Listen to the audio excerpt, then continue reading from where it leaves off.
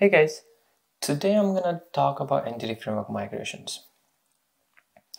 In my last episode, I said we're going to make a relational database using entity framework core. There are two important things you should keep in mind when you're making relational database. One thing, it should be flexible. That means you should be able to make any database schema very easily. And second, when you're making these changes, you should be able to preserve data. That's why migrations are awesome. Migrations, if you learn migration commands, you should you will be able to do these database schema changes on any platform, on any database. And second, it gives you an additional step to preserve your data. So how does migration work? There are two main things, there are two main steps you should keep in mind. One is you create the migration and other is you apply the migration. For creating the migration, you run add migration command and for updating, for applying the migration, you say update database command. Sometimes you make changes in your model which you don't like and you create a migration, but still you can use remove migration command to remove the migration that you have created. Sometimes people make modification into their models, they create the migration and then they update the database, but you can always revert that migration. Sometimes you want to preserve the data. Sometimes you want to make changes in your migration code so that you can pull data from one table and put it in some other table. That's why customizing of migration codes comes into play. You can also generate SQL scripts from your migration. You can't connect your Visual Studio to production database and sometimes you have to get your migration verified from your database administrator. So Entity Framework gives you an option to generate the SQL scripts so that you can run these SQL scripts in production and keep your code in sync with production database. So what are all these commands? Like I said, add migration and name of the migration is how you create a migration. And then if you want to apply that migration, you run update database command. If you do not like that migration, it, you can also remove the migration but you can only remove migration which are not applied in database. If you want to revert a migration, you can write the name of the last good migration that you want to go back to. And like I said, you can generate the SQL scripts for all your migration. For that, you can run script migration command. And these are the commands which you can run from anywhere because, you know, these are command line interface commands. So you can run it from Linux, Mac, you can run it from VS Code, JetBrains, any IDE that you're using. Alright, so what are we gonna do today?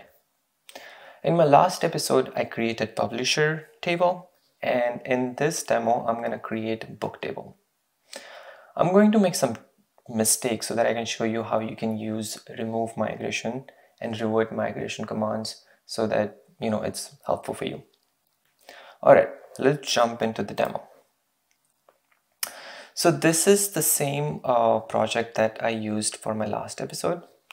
Um, here I'm gonna add my class. I'm gonna say add book, add book, and I wanna create uh, three properties. One is my primary key, book ID. Second is um, main title of the book and third is uh, subtitle of the book. So these are the two mistakes I'm going to make. Let's just assume that I'm a new developer and I do not know what all tables should be there, what all columns should be there. Alright, so before I start creating the migration and updating the migration, update my database, I want you to look at two things. One is this migration folder. And here I have initial create migration, initial create migration, which is creating a table publisher, which we created last episode. And uh, I have this bookstore DB context uh, snapshot. So if you look at it, you can see only it's creating, uh, there's only one entity that is trying to create, which is publisher. Okay. And another thing that I want to look at uh, is this, these tables. So if I refresh these tables, you can see there's only one publisher publisher table here. And when I open this EF migration history table and look at its data, I can see there's only one migration which has been applied here. And that's how Entity Framework keeps track of all uh, how many migration have been applied. All right, so let's um, let's add this book table, this book class in our DB context so that it knows that this is the um, um, this is the table that needs to get added into the into the database. So I'm gonna say uh, book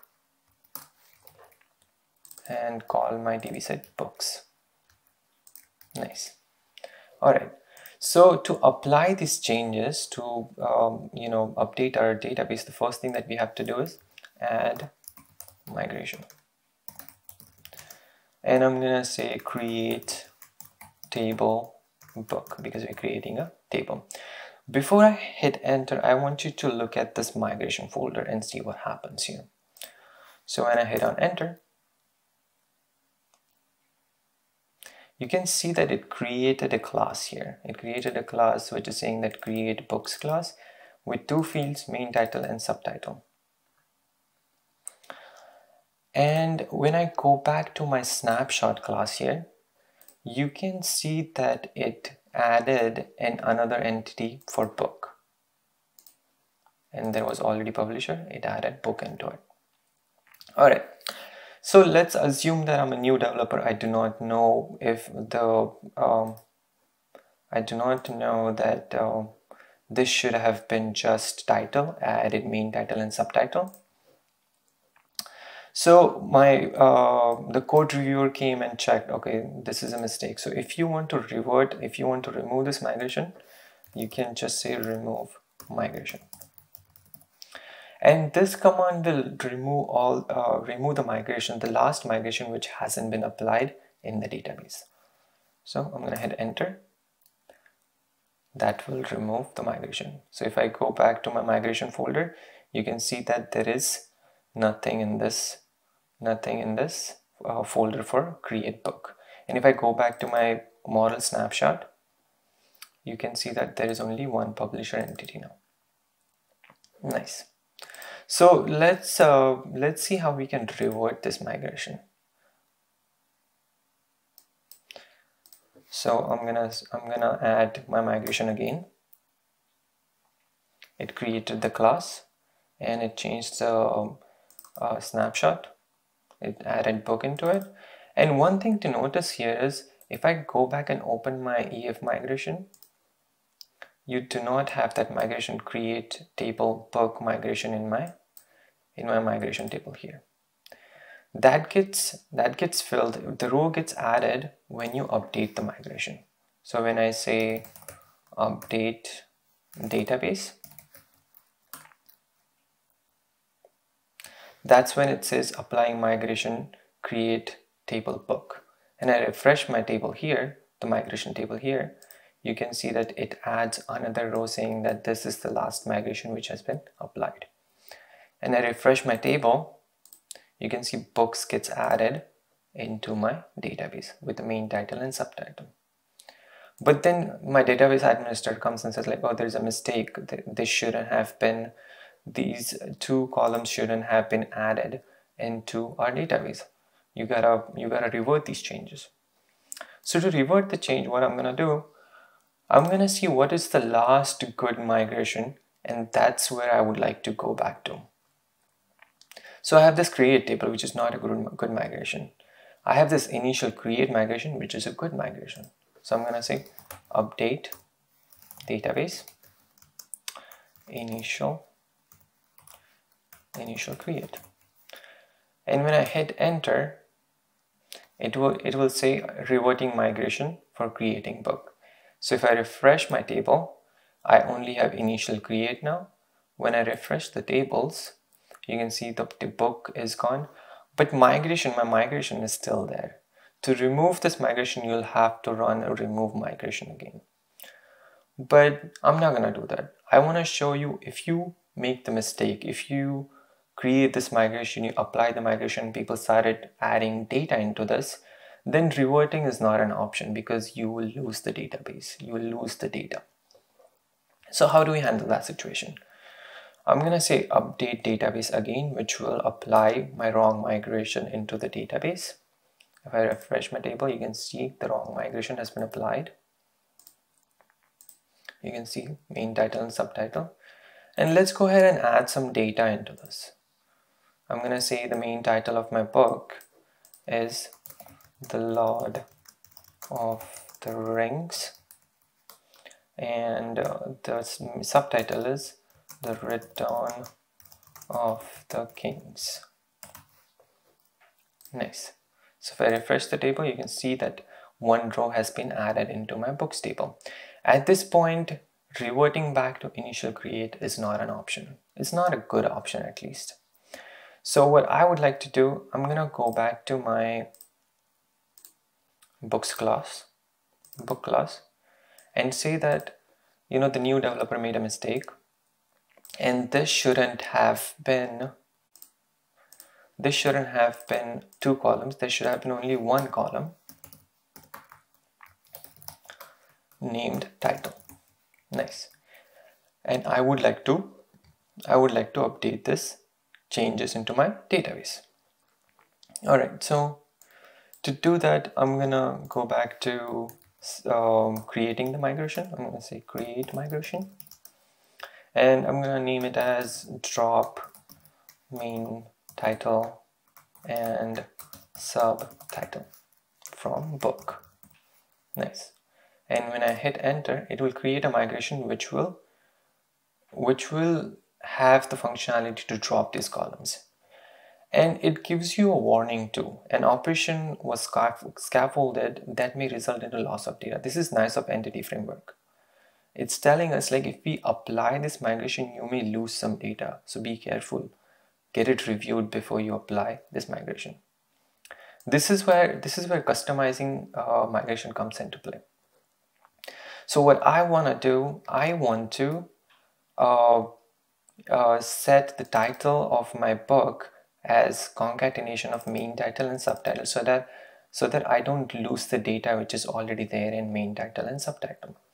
For that I'm gonna cut this, I'm gonna customize my migration. And I'm gonna tell my migration builder to build a SQL query. SQL query which is going to update which is going to update my books table and set title set title to main title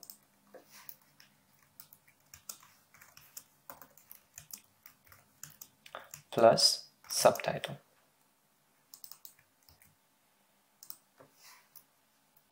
plus subtitle nice so what are we trying to do here is before we drop our main title and subtitle, we would like to get data from here and put it into our title so that we don't lose the data. Nice. So yeah, let's go ahead and customize, uh, let's go ahead and apply a customized migration. So I'm going to say update, update database. Nice. So when I hit enter, it will apply. Our migration says drop main title and subtitle. If I go back to my books table here refresh it you can see that now it only has title column. It does not have main uh, main title and subtitle. And if I open the data you can see that it only has title and it preserved our data. It persisted our data so that see this is why migrations are awesome because it gives you an extra step to take care of your data. All right so we created migration uh, we applied that migration we know how to remove migration we know how to revert migration we can customize migration. Uh, the last step I want to talk about is this how we can create script of all the migrations. So the only command is script migration so when I hit enter it will create the whole script for all the migrations that I've run. I'm gonna make it a little smaller. So you can see that it created a migration history table then publisher then it inserted um, it the first initial create and then it created books. It created it added another row into it and then so it maintained all the database changes that we did for all the migration into a SQL script. And you can get this SQL script verified from your database administrator. And um, you know you can run it in production SQL because you cannot connect to your production SQL here. Nice. So yeah um, in my next videos I'm going to talk about how we can use this migration in creating relational database. So yeah stay tuned if you have any questions you can follow me on Twitter or Facebook. And don't forget to subscribe to the channel. Thanks for watching. Bye